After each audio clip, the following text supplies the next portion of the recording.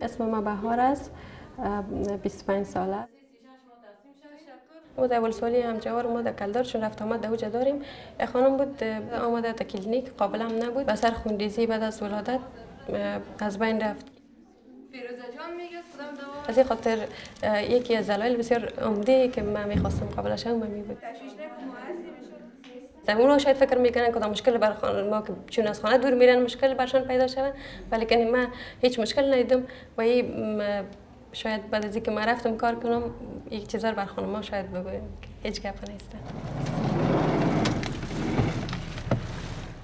اما مهارت که ما مثلا در اسکلاب یاد گرفتیم اما چیز ما باید در ساحه عملی سر مریض برای شفاخانه کلینیکا کار می‌کنیم. مردم افغانستان عموم زنها به قابل ها زیاد نیاز هم دارن در دور بسیار مرگ میر زیادتر هستن نسبت به ایجا انشالله که اگر سنفی های مفارق شد و دیگه که قابله که تازه از دیگه دفتر مفارق شد برن انشالله که فکر می‌کنیم این مشکلات هم تحت که چی که تا صد فیصد مرفوع شد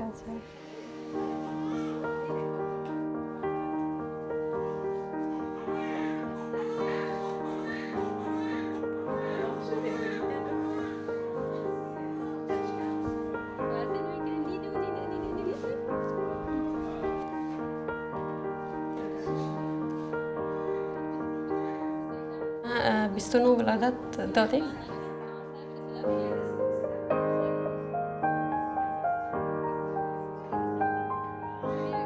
بسیار یک چیز حیرت انگیز و بسیار یک تجربه آور است چون قدرت خداوند آدم ببینه هیچ قابل چیز نیست